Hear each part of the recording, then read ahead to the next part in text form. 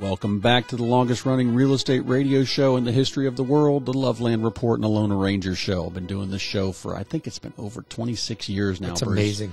And it's funny, bringing everybody their news. I really enjoy it. But hey, the rest of the time, I am out selling houses, helping people buy homes, manage their investment properties. I am a full time realtor. Despite our immense radio talent, you and I do not get paid to do this show. You're not a, a paid radio host. I, I, I, I You're not making it. It's too late for me to change. It's too late for me to change careers. You know, I had dreams when I first started the show. Yeah, I'll syndicate this. I'll be Sean Hannity Jr. Didn't happen that way, folks. I'm I'm better at real estate.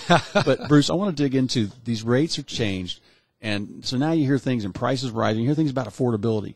But if somebody calls you, and we'll give the number in a second, you can look at their credit report and you can say you can help them get afford more home. How, tell them how you do that. Absolutely. First of all, we want to determine what your buying power is based on your current debt ratio with the debts that you have.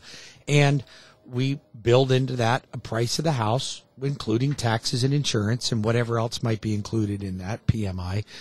But then sometimes people look at it and they go, well, like, you know, um, I can't afford that house. You can't afford that house because you have a $700 a month car payment or you have Yeah.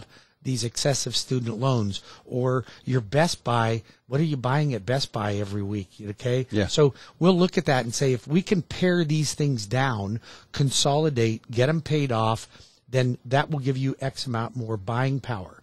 Because I can tell you something, my 80 inch screen TV did not appreciate, Yeah. but my houses appreciate Yeah. like crazy. And and that's the that's the part that that I don't even try and get into. I tell people do that. Well, now as far as your job and what you're doing, you want to. This is something was taught to me.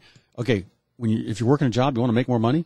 Ask your boss every day when you talk to him. Is there anything else I can do? for What you? else can I do to make What else more can I money? do to make more money? And am I doing everything okay? And what else can I do? And if you don't continue to progress at that job, go find another job. Now, don't quit the job before you find the new job. Don't quit the job That's a millennial thing. That's I've a- had this talk with my stepson several times.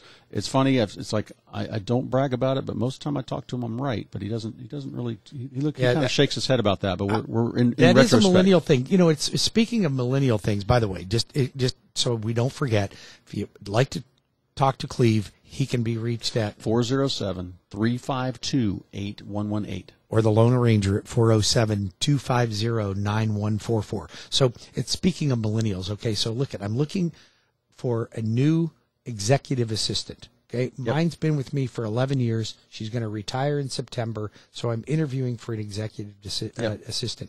Okay. Now this has been absolutely painful and hilarious at the same time, but I'm calling, I'm talking to a girl that calls me and says she's interested in the position. And she sounds nice on the phone and maybe she's capable, not, doesn't have experience doing it. And I run a big company. I need a, I need a well qualified person Yeah. that can keep my business in order. I mean, it's not, it's not just a, an entry level position. It's a high level position. And so I asked her, I, for some reason, I just got this vibe and I said, so let me ask you a question um, like how often do you call in sick for work? She goes, well, whenever I don't think I'm bringing value to the team. I'm like, well, do you think you're bringing value to the team when you're not there? And she goes, well, if I don't feel like I'm having a, the right day, I would, I'm like, this conversation's over. Like, so, So listen, her her spirit animal was the field mouse. yeah. So, and it's funny because like my work ethic is I would probably have to lose my leg before like my wife is like you have you know you have a runny nose you're sweating don't go to work today okay? Stay home. And Yeah. I'm like I can do it I can do it. She goes like no just do your staff a favor and just maybe work from home Yeah. okay? But I work I have a strong work ethic. I look for people that have a strong work ethic. I don't think that taking off the day because you just had a bad day is the right thing to That's do. That's a millennial thing. and that So- is a millennial But- thing. And it's the same thing when you're interviewing a realtor. You can always just call me, or you talk to somebody. Or I love it when they say, "Oh, I've got a family member who's just got their license." Find out how many homes a week do they sell. How how long have they been on the job? What's their pri- list price to sales price ratio? This is the thing. And it's funny. I interview agents to come on my team. I'm very very selective, and it, it, my team of four salespeople, we sell more than real estate offices full of 50, 60, 70 people. Oh, of course Because most people get into real estate for the freedom Yeah, And I want the free time. Yeah, yeah, the free time. They think the phone's just going to ring. It's magic. There's a money tree you pick you pick from, and buyers just call you and say, "I want to write an offer," and it just happens. No, it, it is hard work. So if you're interested in that position, Bruce, what number do they call you at? You can reach me, the loan arranger, at 407 250 9144. That's 407 250 9144. Or webringyouhome.com. Got another article here, Bruce, talking about how most people don't have a financial planner. I'm going to tell you about something that you do need. Yeah, you need the financial planner, but you also need a real estate planner, and that's how I approach my business. And I help people talking about their primary residence and when are we going to downsize, or what's the next house look like, what's your dream home look like, how many rental properties do you want to have? Are we going to do leapfrog? Is it time to get rid of that one? That one's a dog. Um, you've got 17 rental properties. Let's make that 10, just make them larger, and let's get rid of those, and let's give some of the money to your financial planner because the market's down and it's probably going to go back up. I work with planners and estate attorneys on things like this all the time, and we'd love to help you with that at Loveland Properties. Uh, I love, like I said, I love seeing landlords making money off their real estate and then riding off into the sunset, living a great life. Isn't that a wonderful thing? And you know, it's funny you, you say that because you and I are cut from the same cloth when it comes to that. We we really do this so we can help more people. And you know, we do these seminars, we do these training classes. We don't even generally charge for them. So, and you could go, you can sign up for one of these fancy ones on the weekend and pay fifteen hundred and sixty-five dollars and buy the CDs and the eight-track tapes. But we don't charge for that because we want to see people succeed. And listen, don't get us wrong. Cleve and I have made lots of mistakes. We've made a lot of mistakes, okay? But we share those mistakes with you so you don't I can give you them. the addresses on those mistakes. I can give you the addresses on those mistakes too. It's funny you say that because you know I was asked last night. I was doing a crypto, uh, how to buy uh, real estate with crypto event last night, and uh, um, one of the agents said, "Well, how many properties do you own right now?" And I said, "I just have three properties." He says, "Well, I thought you had a bunch of properties." I said, "Yes. One of my big mistakes is I sold them all about five or six years ago." He says, "Oh, that was a big mistake." I'm like, "Yeah." I, I thought, well, I'm but I'm winding down. I'm getting older. Six of one, half dozen another. That money's in the market for you.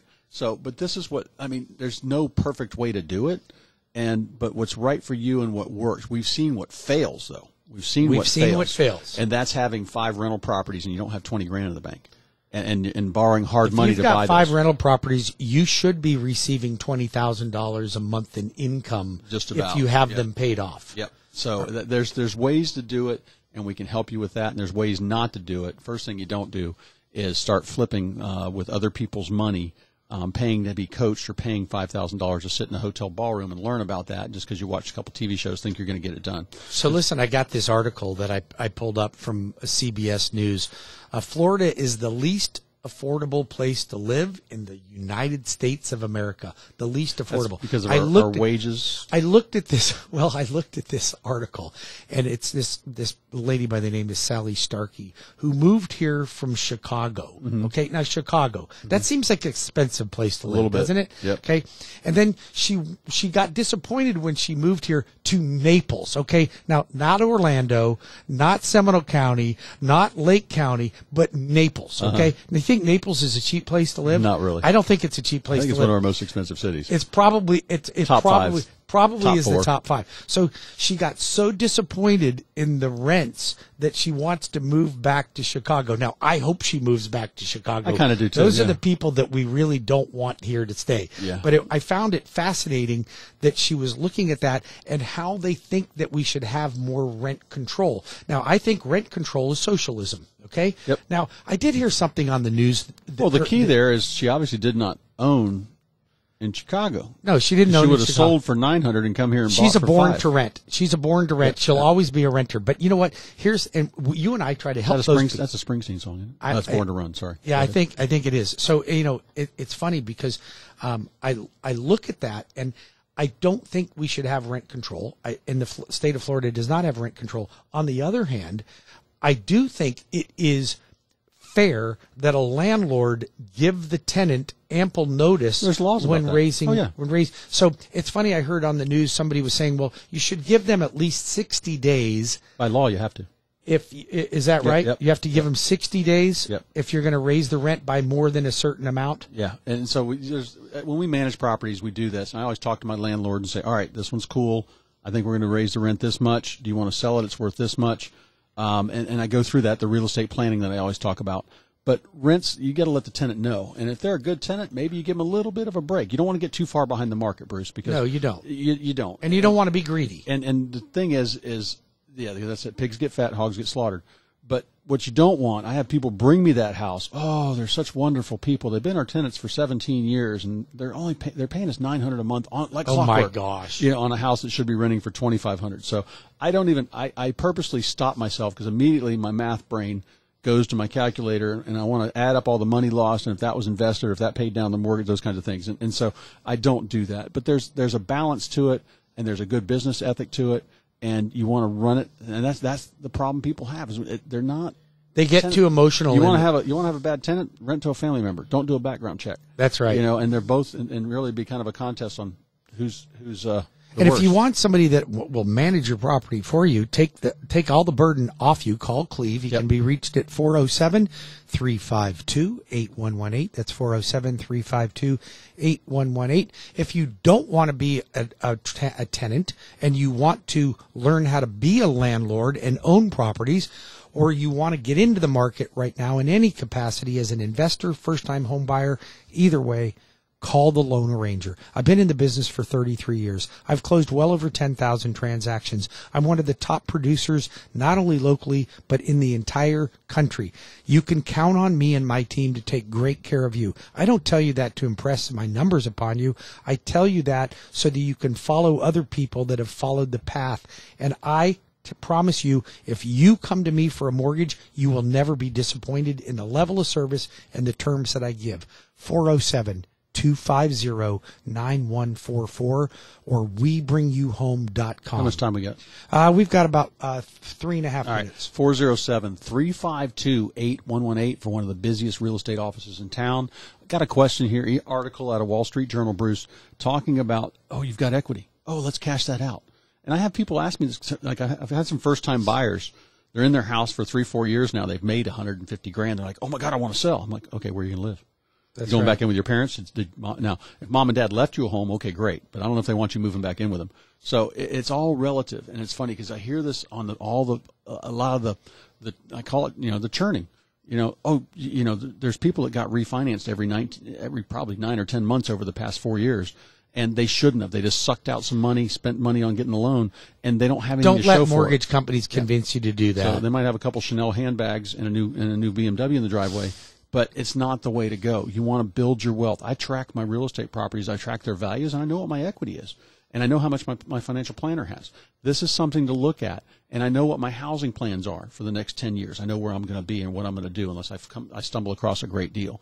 Um, or I stumble across the home. So I tell my wife all the time, I said, honey, I could show you three great houses and we can move. It just, the only problem is, I don't know if I'll qualify for that mortgage. Yes, you So, will. Yeah. So anyway, um, have that bit of sense there. You know, that's why Bruce, you wouldn't refi somebody just for the heck of it. No, I there has that, to be a matter benefit. of fact, I think that should be malpractice. And I th- see a lot of people call me and they go, "Yeah, I'm already in the process of a refinance." I look at it, I'm like, "Why would you do that?" Refi-aholic. There's, there's, there's, matter of fact, most of you should not refinance to lower your rate unless you have a balloon note or an adjustable rate mortgage. Most of you should not refinance to get rid of PMI right now. Here's the reason that you might entertain it cashing out to consolidate debt or to invest in another property. Yeah. Other than that, there are very few reasons to refinance right now. Yep. Making, go make some money. Go work on that. If you have questions about it, I can tell you I will probably discourage about 50 to 60% of you from refinancing. So you can always count on somebody for the right answer, the truthful answer, and the le- and, and not self-serving to me, but serving you. Phone 407-250-9144. That's 407-250-9144 or webringyouhome.com. Realtors, I can't say enough about Bruce and his team. You want your loans to close and close on time. Don't waste your time. Uh, just call Bruce's office, 407 352 8118 for Loveland Properties. We can help you get your home sold. We'll get you a couple months to shop afterwards so you can find that dream home in this crazy market. Yep, we'll be back in five minutes. Stay tuned for the last segment of the Loveland Report and the Loan Arranger Radio Show.